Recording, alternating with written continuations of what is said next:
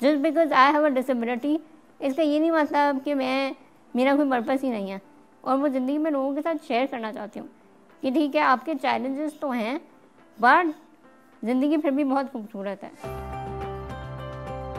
मेरा नाम आमना है। मैं एक डिज़ीज़ से बॉर्न हुई थी, जिसका नाम मस्कुलर डिस्ट्रोफी है। और करंटली मैं काम कर रही हूँ as an e commerce manager जब मैं पैदा हुई थी और जब मेरी डिज़ीज़ डायग्नोस हुई थी, तब मैं दो साल की थी। और जनरली मतलब मेरी वॉकिंग भी बहुत मतलब मैं लिम्प करके चलती थी। तो मेरे पेरेंट्स ने ये देखा, उनने डॉक्टर्स को रीच आउट करा एंड यहाँ पे किसी को समझ नहीं आता था कि ये एक्चुअली डिज़ीज़ है क्या। और ये मैं तीस साल पुरानी बात कर रही हूँ, अब तो फिर इसके बारे में अवेयरनेस है। बट यहाँ पे डॉक्टर्स उसको कंपेयर कर रहे होते थे कि ये पोलियो है। तो मेरे पेरेंट्स मुझे अमेरिका लेके गए। वहाँ पे मेरी डिज़ीज़ डायग्नोस हुई। बहुत दफ़ा गिरी, बहुत दफ़ा रोती थी कि यार मेरे साथ ही क्यों हो रहा है? बट देन ऑब्वियसली आप सीख लेते हो ज़िंदगी जीना विद योर चैलेंजेस तो एज अ चाइल्ड ऑल्सो मुझे बहुत ज़्यादा चीज़ें सीखनी थी कि मैं क्या कर सकती हूँ, मैं क्या नहीं कर सकती। एंड वो चीज़ें समझना कि मैं दूसरे बच्चों से मुख्तलिफ़ क्यों हूँ?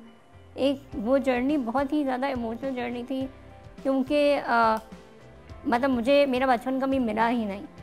एंड स्कूल में भी लाइक मुझे होता था, यार, बहुत चीज़ें मैं नहीं कर सकती। जैसे जो गेम्स होती थी पी क्लास होती थी हमारी, मैं गेम में पार्टिसिपेट नहीं कर सकती थी। या लाइक हमारी कोई, मेरी लाइब्रेरी मुझे याद है, कोई थर्ड या फोर्थ फ्लोर पर होती थी, और वो एक्सेसिबल नहीं होती थी। तो ऑब्वियसली बहुत एक मुश्किल चीज़ थी to accept yourself and मैंने अपनी ज़िंदगी में ना बहुत टाइम बाद अपने आप को शायद एक्सेप्ट किया। और अगर मैंने एक ज़िंदगी में आगे बढ़ना और कुछ करना है तो मैं घर में बंद नहीं हो सकती। मुझे बाहर निकलना पड़ेगा, मुझे अपने आप को एक्सेप्ट करना पड़ेगा। I have to love myself way I am क्योंकि जब तक आप अपने आप को एक्सेप्ट नहीं करते, दुनिया आपको कभी भी एक्सेप्ट नहीं करेगी। तो उस वक्त ज़िंदगी थोड़ी बेहतर होने लग गई, मैं ज़्यादा वोकल होने लग गई चीज़ों के बारे में। मैं आ, उससे पहले मतलब मुझे याद है कि मैं अपनी पिक्चर भी सोशल मीडिया पे अपलोड नहीं करती थी। सो so, अब मैंने रिसेंटली एक ग्रुप शुरू करा है by the name of dis match क्योंकि जब मैं बड़ी हो रही थी मुझे लगता था कि ये सबसे मेरे साथ हो रहा है। Like in that journey I felt really unknown and obviously इधर हमारे मुल्क में इतना ज़्यादा स्टिग्मा है। और इतना ज़्यादा टैबू है अराउंड डिसेबिलिटी कि कोई इसके बारे में बात ही नहीं करता and it is a Facebook group right now and it is about connecting people with disabilities.